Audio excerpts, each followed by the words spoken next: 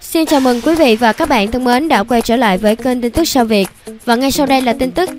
Trấn Thành cuồng nhiệt hôn tay Henry Won Chàng MC không ngần ngại thể hiện tình yêu dành cho bạn gái khi cả hai ngồi ghế đóng một show truyền hình.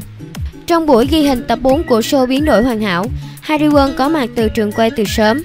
Cô rạng rỡ diện váy xanh họa tiết, xách túi hàng hiệu và đội mũ trẻ trung khi hội ngộ với bạn trai Trấn Thành ở phòng chờ, cả hai nhanh chóng quấn quýt ôm nhau và trò chuyện tình tứ. Từ khi công khai mối quan hệ, đôi uyên ương luôn thân mật mỗi lần sống đôi tham gia sự kiện. Biến đổi hoàn hảo cũng là show thực tế đầu tiên mà cặp đôi cùng nhau ngồi ghế nóng. Hơn Trấn Thành một tuổi, nhưng Harry Won lại có tính cách nhí nhảnh trẻ trung hơn cả người yêu. Nữ ca sĩ còn ra dáng một người vợ hiền, chăm sóc chu đáo cho Trấn Thành ở hậu trường. Cô chỉ lại trang phục giúp bạn trai để anh có vẻ ngoài bảnh bao nhất. Trấn Thành dường như đã quen với sự chăm chút tỉ mỉ của Harry. Trên ghế nóng, chàng MC còn hôn tay bạn gái cuồng nhiệt, khiến giám khảo chỉ tài ghen tị. Harry Won chỉ biết cười thích thú trước cử chỉ ngọt ngào của người yêu. Không chỉ quan tâm đến bạn trai, Harry cũng rất thân thiết với đàn anh trí tài, khi thường xuyên bàn bạc với anh về các thí sinh. Bộ ba giám khảo của chương trình biến đổi hoàn hảo